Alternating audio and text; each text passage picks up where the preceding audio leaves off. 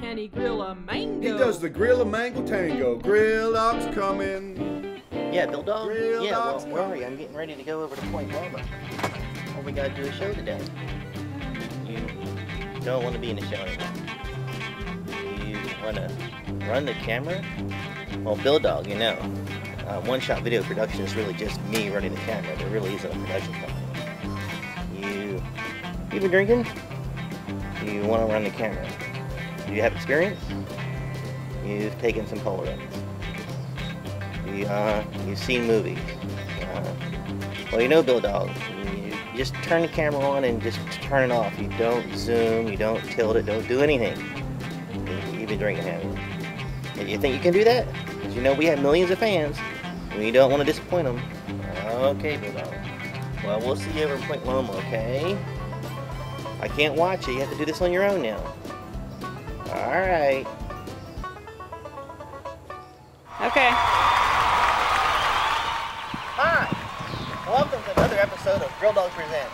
Why? Well, I'll tell you why, because we're about food, fun, and friends. And if you're doing anything else, you're doing it wrong. Today, we're out on the road. We're down here in the center of Point Loma down in San Diego.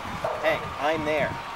So, what we did is we packed up our bags. We got our writer, Jude Lieberman from Lee Books, who donates all their time to actually write this mess. And we got our production crew from One Shot Videos, because like the show, sometimes in life, one shot's all you get. So we're running down here on the road. And what Trish wants us to cook up today, we're going to show you what to do with sushi. All right, well, the first thing you're going to do if you're going to make any kind of sushi at all is you got to work on the rice. And that's most people's problem when they're dealing with sushi is that they don't know how to make the rice. So we're gonna go inside. We got three different types of rice we're gonna do today. We're gonna do a regular American rice, which we really don't want to use for sushi, and I'll show you why.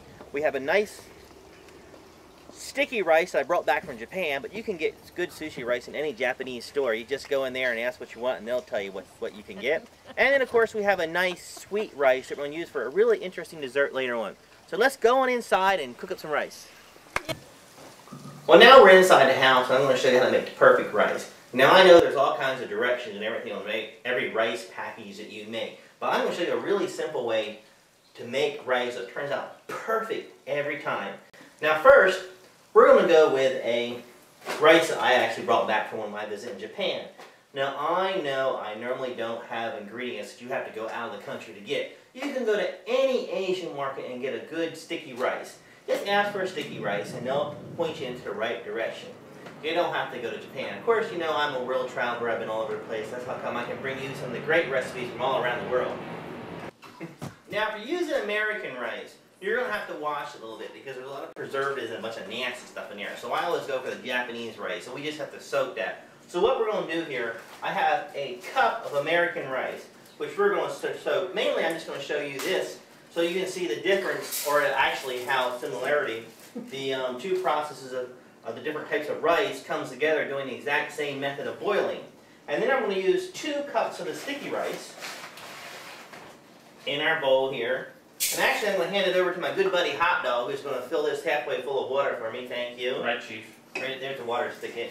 You familiar with the water spigot? Okay, he's got that handled quite nicely. And then we have two cups of our sticky rice. Now later on in the show, we're going to do the exact same method for our sweet rice for our dessert roll. And we're going to just let this here, both of these sit, our American rice and our sweet, our sticky rice, to soak for one half hour before we start to cook it. And now let's go outside and start looking to see what we had to make our main theme for the show. You might want to think about a little appetizer to feed them so they don't get too crazy while they're waiting for you to make your sushi. What I'm going to do here for an appetizer for my friends is I'm going to actually do something really nice. It's called edamame. It's basically young soybeans. You can get them in any supermarket. Um, and what they are, we'll show you really quick, is they're basically like a pea pod. As you can see, they're little pea pods. And what you do, you can either steam them, you can microwave them, or you can eat them raw cold. Add a little salt to them. You just open them up, and you get this little pea, and just pop that in your mouth, and you've got yourself a nice little appetizer. So we're gonna go inside and serve these to my little grill dog packs. I'll be back in a minute. We got our American rice here, which I said has a lot of preservatives in it. So what we're going to do is we're going to swirl it around, try to loosen up the dirt, strain it out, throw some more water in it, rinse it again, and that should be about ready. With our um, Asian rice, the sticky rice, we're actually going to use for the sushi, we're just going to strain it and add the water we're cooking. Two cups of sticky rice, two cups of water, one cup of American rice, one cup of water. Now we're going to go over here and boil these things. Alright, we're here going to cook our rice. For our American rice, I have a small pan, and for our one or two cups of sticky rice, I have a bigger pan. And now the most important thing to do when you're cooking rice isn't necessarily the pan, of course you want to have enough room for your rice, is you want to have a tight fitting lid. You want it to sit on there tight because that's one of the main processes of making your rice. You want the steam and the heat to stay in. And once you start cooking this, do not open the lid, okay? Just like with the, the coal episode that I showed you about, not removing the lid of the grill, you'll want to leave the lid on there make sure you have a tight lid. One cup of American rice with one cup of water. And we're going to put that in our pan, get all the good rice in there. And then we're going to just sit that over here on the side. We're going to heat that up in a minute. And then for our sticky rice, we have our two cups of sticky rice and two cups of water. We're going to pour it in our bigger pan. And we're going to be all set to go. We're going to put the lid on both. And again, what we're doing is we're showing you two different types of rice with the exact same cooking style to show you that it's not necessarily how you cook the rice or what you cook it in. And no matter what type of rice you have, you can do the same process for any type of rice. Well, except for brown rice and your really tough grains like that. They take a lot longer. But your regular white rice, this is the best method to go. So what we're going to do is we're going to turn on high, hopefully. There we go. And we're going to leave on high until we first start to hear them start to boil. Once we start to hear that they start to boil, we're going to turn it down really low to simmer for 10 minutes. Alright, my pan's over here started to boil. I heard them, so we turned it down to low. And now what we're going to do is we're going to time this for 10 minutes. And in 10 minutes, we're going to go back, take them off the stove, but we're going to leave the lid on and let them sit for another 10 minutes. So Mickey's hands do. are going to be where in 10 minutes?